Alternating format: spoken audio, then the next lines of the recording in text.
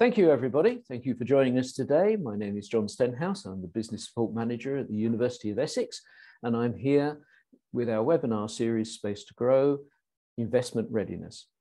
We have on our panel today, we have Josh Clark, who's here to uh, help us, and we've got Simon Atack from Innovate UK EDGE program, who's going to talk about his innovation project canvas. The University of Essex is very proud to present these programs totally free, uh, available to everybody to come along and learn about investment readiness. And when we say investment readiness, we're talking about getting your business, your innovative idea through that seed stage where you can actually raise equity funding or indeed alternative funding to help it grow and nurture it through to its full potential. We are here, we're here to nurture businesses and help them to grow. We do it quite willingly and with great expertise. And our Angels at Essex Equity Investment platform has actually managed to help businesses raise 10 million pounds in the last year alone. And that's for innovative ideas, innovative ideas that don't get a look in elsewhere. So remember, we are here to help. So let's talk about Simon Atack and the Innovate Edge program. I'm not going to steal his thunder, but Simon has been presenting the Innovation Project Canvas for a while now. And this program has been extremely useful, extremely useful to our clients who are going through the investment readiness program.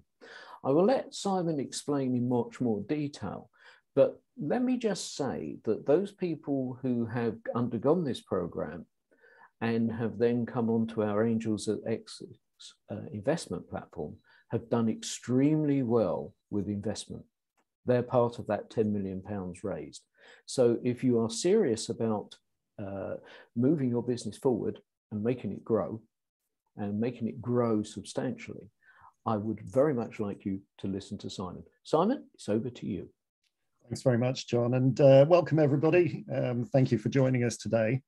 Um, so today we're going to be talking about uh, the Innovation Project Canvas, which is a framework um, that uh, Innovate UK, um, who were Innovate UK Edge, um, the uh, sort of client-facing front of Innovate UK, um, the Department for Innovation, we utilize to help businesses prepare themselves for grant funding investment uh, that we provide through Innovate UK but it is also an equally useful framework to utilize if you're looking for any type of funding. So whether that's looking for bank funding, loan funding, or whether you're looking for either angel or VC investment funding as well.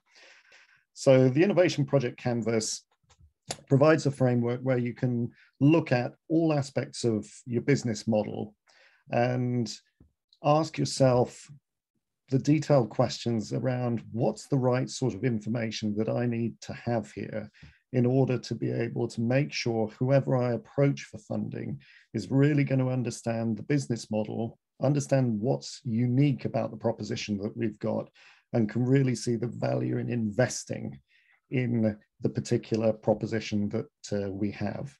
So what I'm going to do is I'm going to take you through the different areas of the canvas and the sort of things that you might need to consider in terms of those elements of your business model and the proposition that you have. And then at the very end, if there's any questions uh, that you may have, I'd be happy to, to answer those then.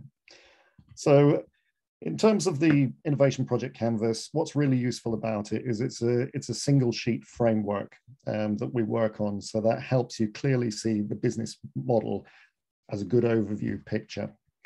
And what we start with looking at is what are the uh, unique features that you have within the uh, business model that make you make you stand out. So it's looking at really understanding where the disruption is in your innovation. What your innovation project's going to produce. Is it going to be a new product? Is it going to be a new service that you're uh, introducing? Is it new processes? Is it new materials? Is it new methods or applications? And why do you believe your project is going to produce something highly innovative? Because you've really got to communicate this across in a very clear way, either in applications to, to Innovate UK grant funding or to investors.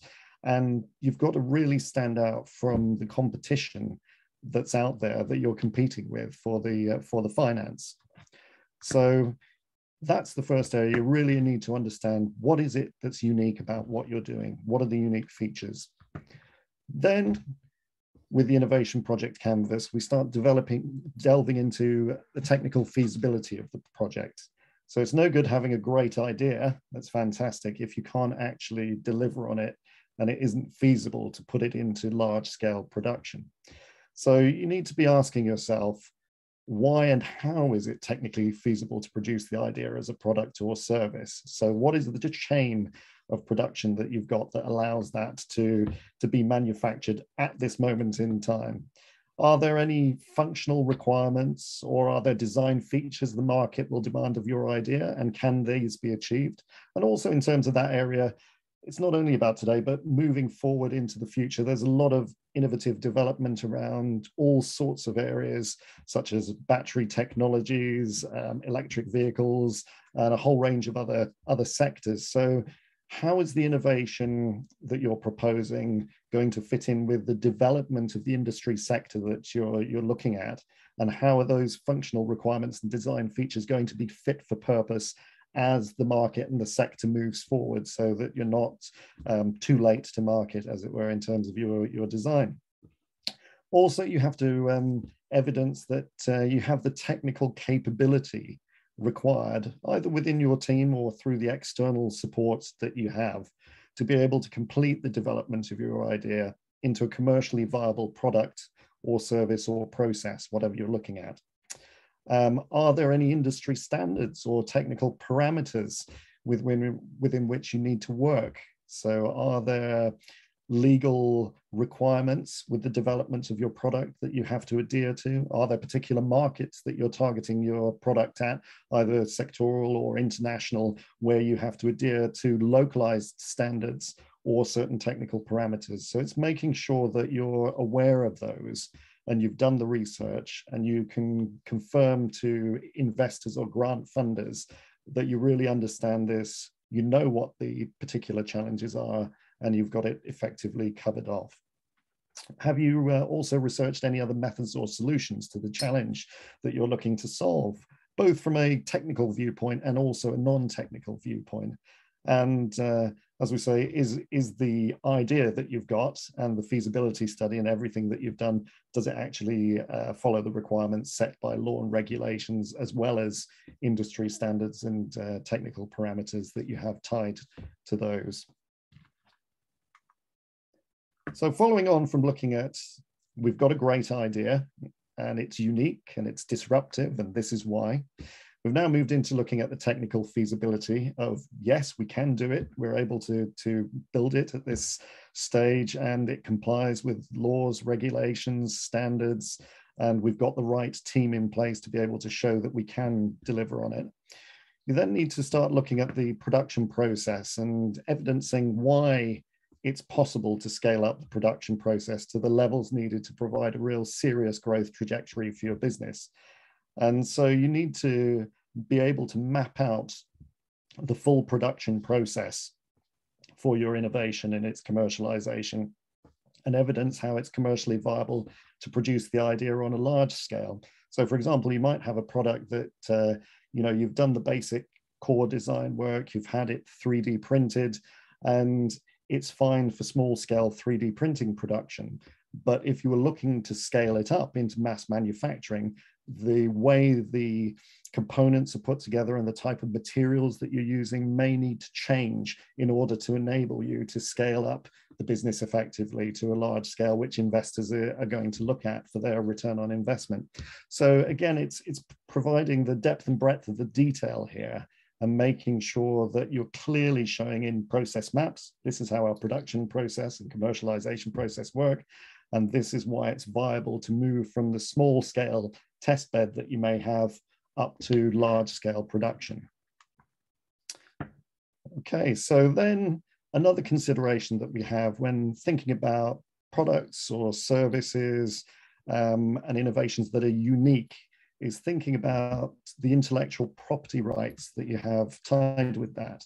And in terms of your IP is. Do you understand what your IP position is for your innovation? And have you got an IP management strategy that you've got laid out?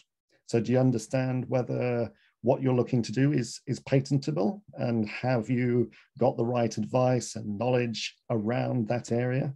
Do you understand where your copyright situation sits for your business? Are you looking at using trademarks as a strong IP within the development of your, your product and service and brand?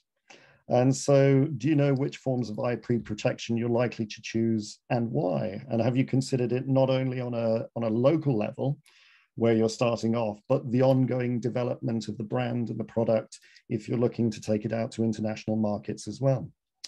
Uh, other considerations are if you're perhaps a, a university collaboration, maybe, and you're working with sort of third parties, is do you have the right contracts and licenses in place to enable you to commercialize the idea that you have? So again, looking at the legal contracts in relation to, to IP and knowing where you sit with those is extremely important. And if you're talking to, to potential investors or people that you would like involved in the project to help you develop further from the ideas phase, do you have non-disclosure agreements, confidentiality agreements signed to cover that off to show that you've got the appropriate protection that you can have in place at the right time? So then after thinking about where we sit with our IP and uh, what IP we've got, how we're looking to protect it, what the management plan is, and how we're looking to leverage it as we move forward in the commercialization. Then want to uh, present what the project plan is in relation to the investment that the business is, uh, is achieving. And so it's putting down and utilizing things such as Gantt charts, which can be very useful here, as to what your, your R&D strategy is, what the major milestones and the key activities are that need to be completed to ensure the project's delivered on time. Um, have you made sure that the project is broken down into well-defined work packages? Because for some uh, funding, such as the Innovate UK funding that we have, you may have particular work packages that you want to put together in order to call off funding at certain stages in the, the project to make sure that the cash flow is working effectively for the delivery. What's the time frame for getting the innovation to market? Have you got a clear time frame and are you confident from the project plan and the detail in the project plan that you're going to be able to deliver within the timescale promised for the funders that you're looking to get the investment from? Also, it's consideration around what contingencies are there in place that you've put in to ensure that the project progresses on time? So these are all important areas that funders are going to need to see clear evidence that you've considered and you've got the detail, and also that it's easy for them to see and to, to understand. So within the business, um, again, as I say, we've, we've started off, so we've got a product that's got unique features or a service that's got unique features. We've evidenced that it's technically feasible. We've got a clear production process mapped out. We understand the IP that uh, we have for the project and the commercialization plan. We've got a project plan in place. And then as part of that, we've got a real overview of an understanding of the risks that are associated with different aspects of the innovation project. And again, these are key areas to, to look at which a lot of businesses we find when we're working with businesses could perhaps do a lot more in terms of their depth and breadth of research and information and knowledge. And key areas are intellectual property competition, customer adoption and diffusion, which again is, is very much a big area that you need to evidence that you really understand the market. And although you may have a fantastic product that you think is brilliant, that everybody in the world is going to want to buy, that you've really drilled down and evidenced where your core target market is, um, what the drivers are that are going to ensure that there's going to be customer adoption and diffusion at the rate that you need it to, to be in order to scale the business successfully and deliver on the promises of what you're um, promising for delivery of the innovation and the commercialization so that the investors get the return that they're looking for. Other areas are things like technical risks or technological risks that may exist. There may be challenges around costs and revenue streams. And there are also maybe challenges around skills and experience. So again, it's doing a, a risk register and a risk analysis of all of these areas and really showing investors that you understand the landscape, you understand the business, and you understand how you're going to best navigate these particular challenges that you may have. So within the innovation project canvas on the left-hand side there in the slightly gray boxes, we've covered all the key elements internally with the business, looking at the innovation and the development of the innovation. So now on the right-hand side, we move further across into looking at the commercialization of the innovation. And so the first big area in terms of business is really understanding their innovation and how it's going to reach commercial success is through really understanding the market potential. And so this is looking at identifying the particular trends or the challenges which are driving the innovation and evidencing these. Um, it's looking at how either a new market is being created or an existing market is being reshaped and how that this is going to provide a long-term sustainable business opportunity. And so it's utilizing models both like the steeple model, which is looking at the macro environmental um, developments. So whether it's social change, drivers that are driven through technological, economic, environmental, political, legal, or ethical um, developments, and how these impact your business, both in a positive way and also can be in a challenging way as well, and how you're going to work your way through that. And so what the funders want to know is, do you understand your market and can you clearly show us that there's a great opportunity that exists there? And as part of that, not only do we want to see the, the big picture figures of where the, the market's moving, but we also want to know that there's a genuine market and a realistic sized market for what you're looking to achieve. So with the value of the market, it's considering not only the total available market, which could be, say, for example, a 100, 100 billion market, but also considering where your business really sits within there. So it could be your serviceable addressable market for a 100 billion overall total available market is somewhere like 100 million. And then within that, actually, your serviceable obtainable market, which you're looking to achieve over the next sort of five years might only be 15 million. But looking at it from a ground up perspective of how many units you're going to produce, what your sales price is, how you're going to get that to market, it's looking at producing some detailed top down, bottom up figures that are going to evidence that you've got a real credible opportunity and that you know your figures in terms of your forecasting projections very well and that they are realistic for what you're looking to achieve so that the investors, whether it's grant funding or venture capital, angel investment, are confident that they're going to see the return on investment that they're looking for. And so the things you need to ask yourself, what's, what's the estimated value of our accessible market? What's the growth trajectory of that market? What market share are we looking at that we might expect to win over the next three to five years? And what are the characteristics of the markets that we're going to approach? And how can we prove that we can create a defensible position within those target markets? Right, okay, so the next thing we're going to look at is having looked at the big picture of where the market sits. We're now looking at drilling down further into the customer segments and understanding out of that big market that you have, who really are your, your customers? So who's going to use the innovation? And, and also users may be different to customers as well. So it's considering those different elements and how your innovation will be developed and deployed in relation to that. It's understanding what are the nature of the different target customer segments that you're going for and how you're addressing those differences. It's looking at whether you've defined customer user profiles by both characteristics and also by behaviors. And also thinking about whether you've visited uh, potential customers or users to align your innovation to their business problems or challenges. So then we further move down. So we've looked at the big market potential, drilled down into the customer segments. And then from the customer segments, it's really looking at understanding with our innovation that we have, what is the value proposition that we've got when addressing those customer segments?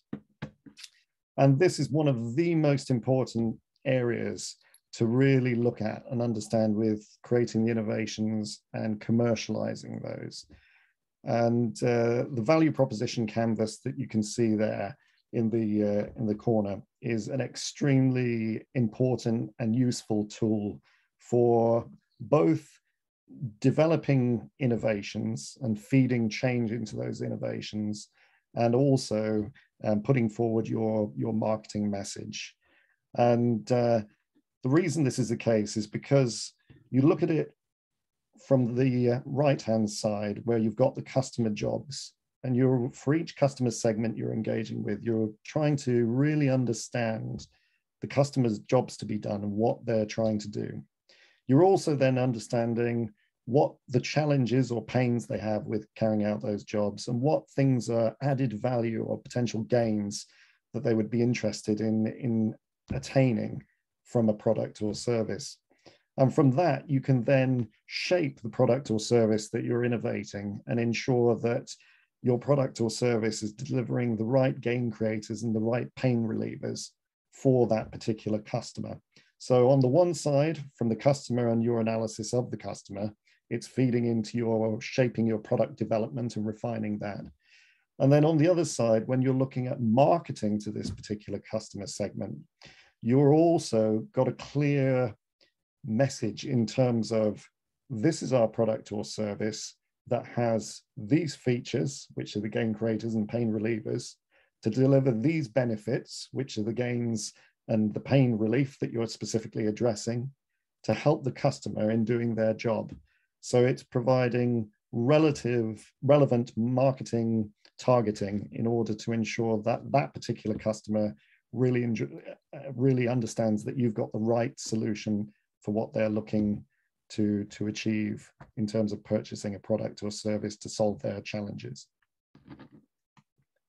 And in terms of this, this area, the things that you need to be asking yourself is which customer and or user problem is your innovation helping to solve? So it's really clarifying that.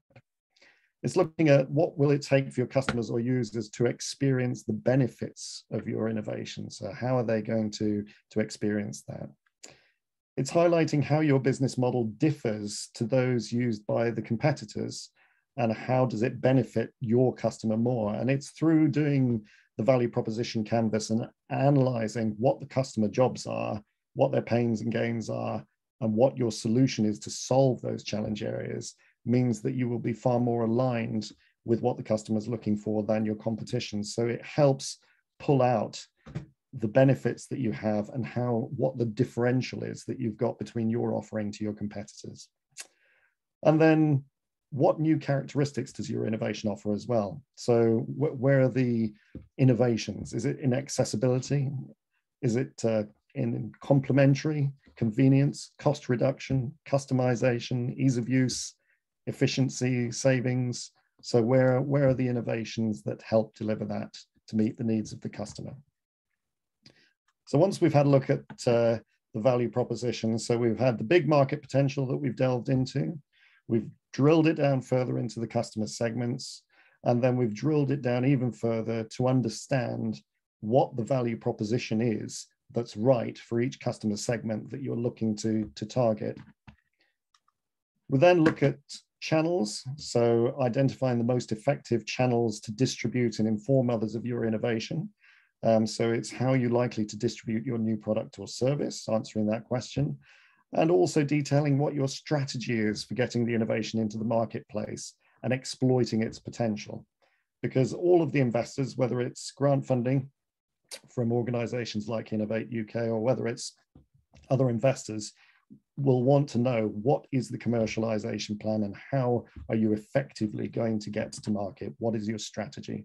So this is a, an area which, again, it's important to provide that depth and breadth of detail. And then as part of the analysis of, of looking at the market, again, it's very important to spend the time highlighting who the competitors are, who's operating in your market space, which of the major players in the market could be considered as direct competitors, as indirect competitors, or replacement competitors. What competing products or solutions are being developed at the moment or already on the market that could affect your commercialization? and uh, what is the commercial state of the art available today in this sector. So again, it's all of this knowledge. And likewise, it's looking at understanding your competitors. If you're looking for investor investment or angel investment, it's understanding benchmarking of the investment journey as well that competitors might have had, which you can use to then validate whether the financial ask that you're looking for and the equity level of investments um, that you're looking to divest is going to be um, right in terms of looking at it as a benchmark and seeing whether um, it's realistic and whether you have a good chance of achieving that. So again, competitor analysis is extremely important. And then we also look at customer relationships and identifying how people are going to find out about the innovation, how you're disseminating the results of your projects, what your marketing plans are, how you're going to maximize impact using channels such as press releases, conferences. Are you going to be doing white papers in scientific journals? Are you carrying out workshops or newsletters? And how will your activities pave the way for future market entry? And are there any conditions, um, depending on the relationships that you have, if you have a collaboration that you're working on the innovation project, as to whether there's any restrictions that you may have by partners on publishing or marketing as a result of the type of uh, technology or innovation you're developing. So it's being clear on all of these areas and being able to again document and uh, detail that. We've then looked at all of the areas of the market, the competition, our value proposition that we have in relation to the customer segments that we're engaging with and how we're going to disseminate our fantastic innovation to, to the world and, and encourage the commercial uptake of it. So as part of other areas that uh, investors are going to want to know, obviously there's things such as the uh, revenue streams, which is how you're going to make money from your innovation and how you set a selling price for the new product or service or process. And how this compares with your main competitors. So in terms of your pricing strategy, this is going to be very important. So are you going down the route of cost plus pricing? Is it consumer-led pricing? Have we got competitive pricing, premium penetration? Is it uh, a skimming approach or an economy approach, or is it even freemium? And uh, have you calculated the return on investment your business might expect from the project? What form of revenue stream you'll be using? For example, digital asset sales, it might be commissions, fixed prices, e-commerce or, or licensing. And so it's being clear about where the revenue streams are coming from and that you've got realistic financial models to, to back that up for the investors who are putting, putting the money in. The other, other areas um, which we'll also look at, not only is the uh, looking at uh, the revenue side, is also looking at the cost structure and really understanding what the estimated total cost of the project is, what amount of internal or external funding you actually need, and whether that's a realistic amount for what you're trying to do, what financial investment has actually been made into the project so far, and who has put that money in. Um, whether you have a breakdown of costs associated with the project, and you can clearly show that, it's understanding and showing that you've estimated the relationship of the cost by unit price to that of the selling price for your most dominant customer segment. And then if you're seeking external investment, how are you likely to acquire the match funding? And also how much follow-on financing may be needed to bring your innovation to market? Because again, investors who are putting in initial investment rounds are going to want to know that the investment is going to lead to a sustainable business model and it's not just going to fund um, a bit of r&d and then it's going to collapse it, and then need a dramatic amount more funding that you're going to struggle to get hold of.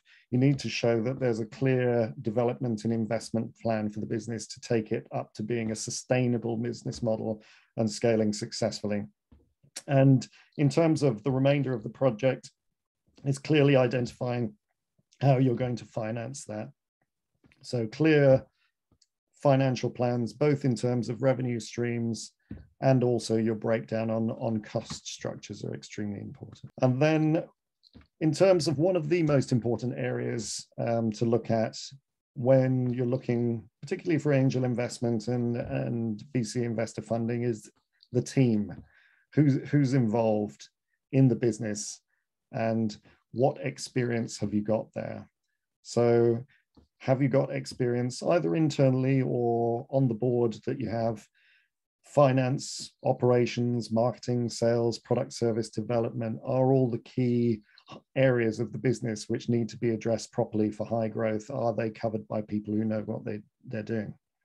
Um, are there senior people within the business who have experience of scaling and innovation and commercializing it and bringing it successfully to market are there also senior people within the business um, who have experience of gaining investments as well? So who've previously been through um, investment rounds and gained funding?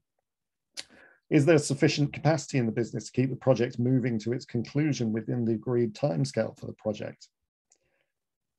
Which key external partners are you going to need to work with to successfully execute the project?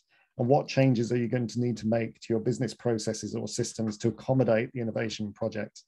And also, is there any prior experience within the business and your team of IP and patenting, copyrighting, trademarking, etc.?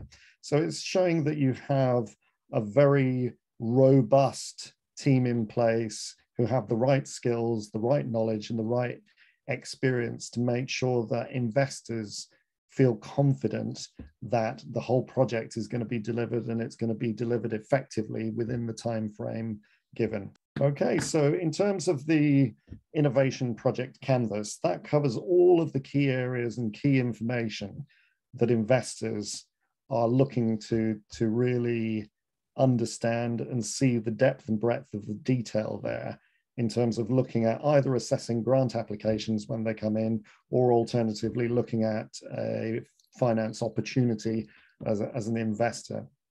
And the important thing to do as well is, and on top of having all of the information about this is our business, this is our innovation and our idea and our project plan and risks associated with it. This is our commercialization plan. It's also important to make sure that you cover the context of the business model environment that you're working in as well in terms of the applications that you're putting in and evidencing, as we said before, things like Steeple, where you're really showing the key trend drivers that are in place that make it a valid and sustainable business plan so identifying those market forces that can affect the business and the project is looking at competitive forces and really highlighting any strong industry forces that are there that could affect the model one way or the other. So it's really having a comprehensive analysis done in terms of the presentation uh, that you have. Now, in terms of um, top tips, uh, when you're looking at uh, going for, for funding, um, I would say that uh, first off, it's really about reading and understanding the requirements. And whether that's a grant funder like Innovate UK or whether it's an investor, it's really making sure that you understand what their cri key criteria is, what timelines there are for submission, how they score applications or validate applications, what values they have, and, and those sort of things. So really understanding who the funder is. And it's only by doing a lot of research on the funders um, that you can build that picture up and see how you can shape your proposition to make sure that you've not only got a value proposition for your target customers in the customer segments, but you've also understood and developed a value proposition for the investor that uh, you're looking to get funding from as well. So researching the funder is very important. once you've started drafting out your proposal, it's often important to strip back, go back to the beginning, really delve into it and question everything and make sure you really validate what your assumptions are. And then from there, refine the project proposal further using the framework. Uh, as I say, don't assume. it's all about evidence. So devil is in the detail. The credibility and the strength of the delivery plan is absolutely key to the success of the funding applications you put in. So you need to get rid of any assumptions and make sure you can evidence them with facts and figures uh, from the industry. And as I say, like we were looking at um, the total available market and the serviceable obtainable market is top down, bottom up data is what you're going to want to provide to investors to make sure that they feel you really know what you're doing, you've really nailed the figures, and there is a genuine opportunity that's there, and it's a realistic opportunity. Uh, you need to remove the rose tinted glasses and be realistic about the proposal, both in terms of the risks. Again, what we were talking about is depth and breadth of detail around the risks and the opportunities uh, that are there and being realistic in the figures. Uh, to answer the questions that are asked, often we get grant applications in where um, the answers that have been given haven't actually answered the question that was being asked in the grant application form. So you need to make sure you double check what is the investor or the grant funder asking for and have I answered that question and also within doing that, it's about being concise and uh, eliminating jargon. So we may have wonderful technical uh, sort of uh, jargon that goes with uh, various industries, um, which you know yourself and the industry knows. But if you're having a panel of five assessors, and one of those is from your industry, and the other four are from different industries, uh, and they don't get the jargon, it's going to impact negatively on your application. So therefore, you want to make it as clear as possible for anyone to be able to understand what your innovation and what your proposal is. And then you've got to be right on the money. So again, it's understanding through your market analysis and what you're looking to do and your competitor analysis that the funding amount that you're proposing is going to be right for the business um, yourself in terms of what you can reasonably expect to get in terms of investment, that it's the right amount of money for the project that you're working on and will cover the whole costs of the project and ensure that it's a successful delivery. And also that it's the right amount of money for the funder and the fund. So if you know it's a hundred million uh, pound, hundred million yeah pound or dollar fund that's that's there, but it's only being split by a hundred businesses, you know that you can't ask for the hundred million full out as for your project. So therefore, it's understanding the funder and being right in terms of the money that you're asking for from that funder. And likewise with, with investors, again, they'll have their sweet spot in terms of their, their investment um, amounts that they're looking to put into businesses. And again, it's understanding where, where are the sweet spots for them and how can you best reflect that in your, in your applications. Um, again, what's in it for them? Understand and showcase the required impacts, because at the end of the day, um, for investors, they're going to be looking at maybe a 10 times return on investment. So, can you show that you're going to achieve that for them in five years?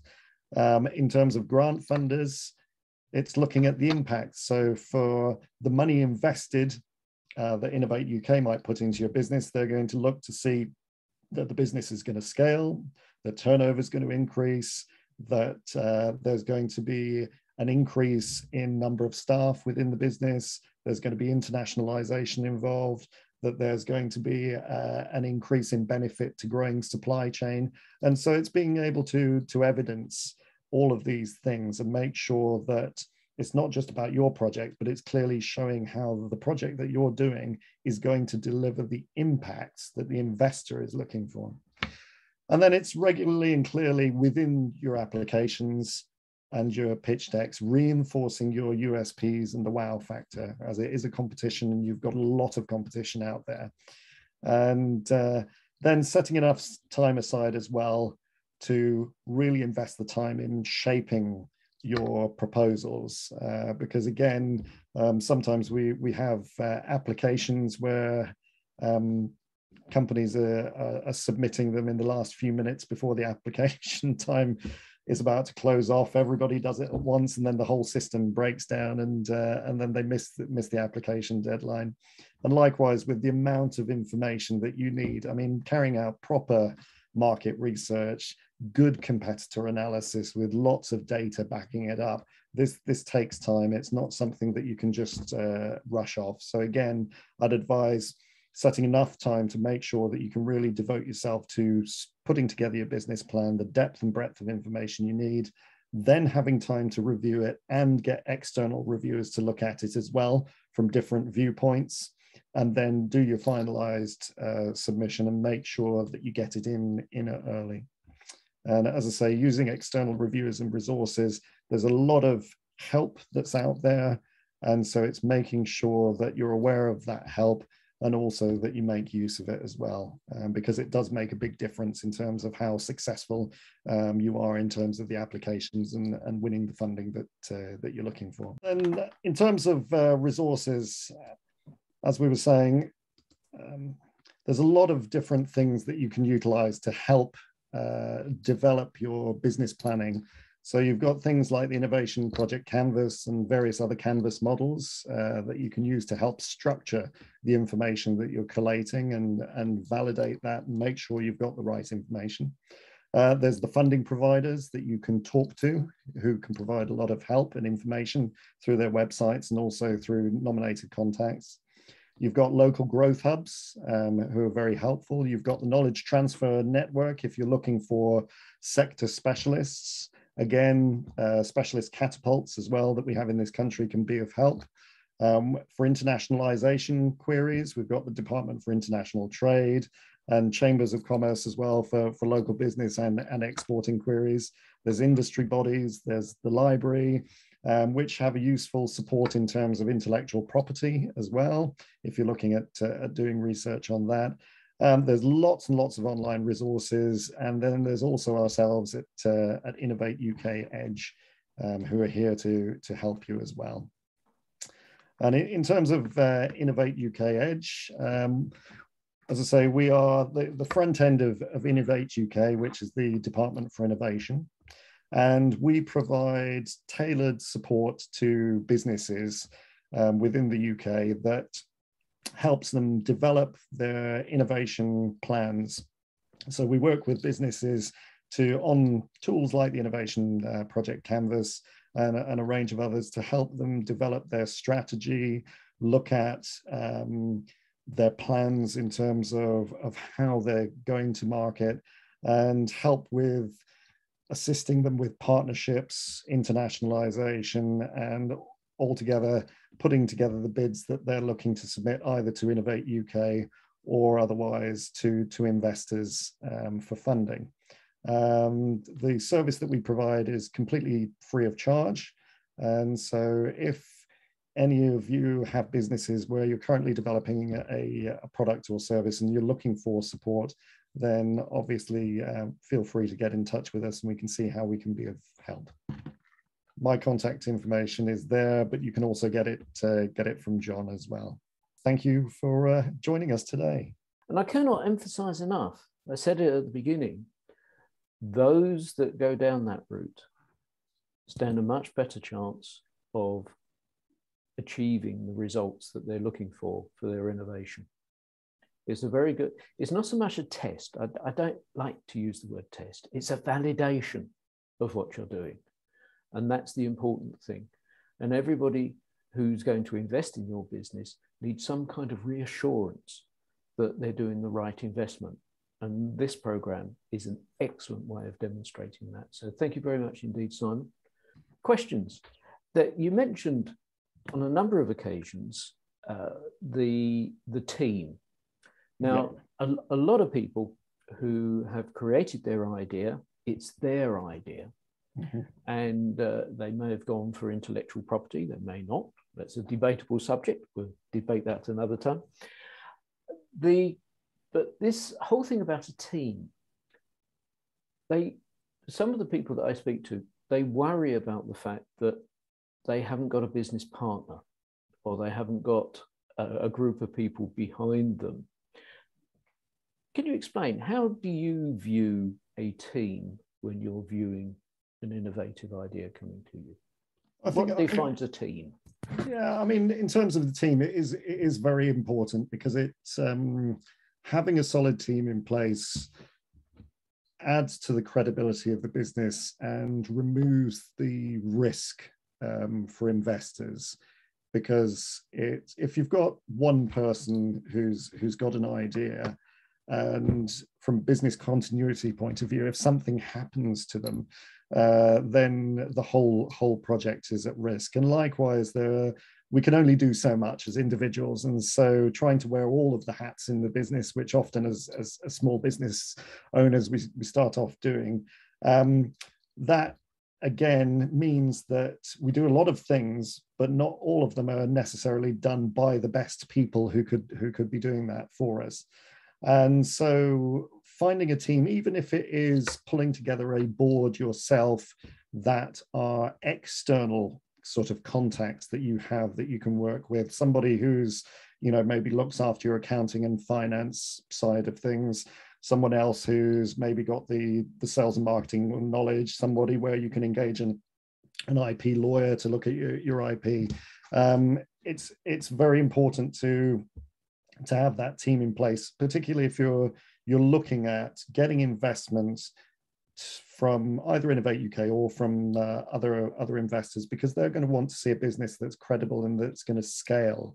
And there's a certain stage with small businesses where if you are a single owner manager and you continue along that route, there's only so far that you're going to be able to, to, to get. And so it's putting into place the infrastructure to be able to actually move forward and, and scale effectively. And, and there's there's different ways of, of doing it. They don't all have to be employees within within the business. And, and a lot of a lot of small sort of tech companies make use of non-exec directors and, and make use of, of wider contacts to be able to pull together a, a team that can help them grow and scale effectively.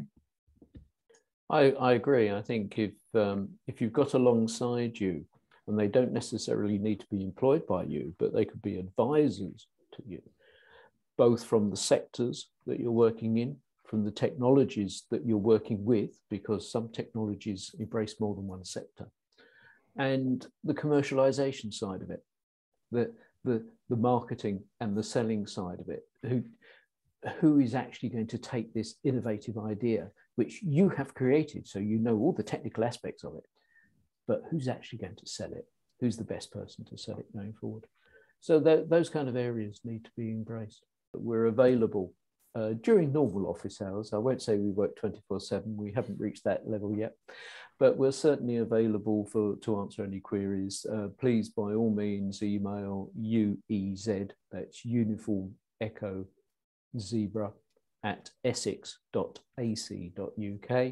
and we will endeavour to help and support you on your journey. Thank you once again. I'm John Stenhouse, the Business Support Manager, Josh Clark, and from Simon Atack from Innovate Edge UK. Thank you once again. Goodbye.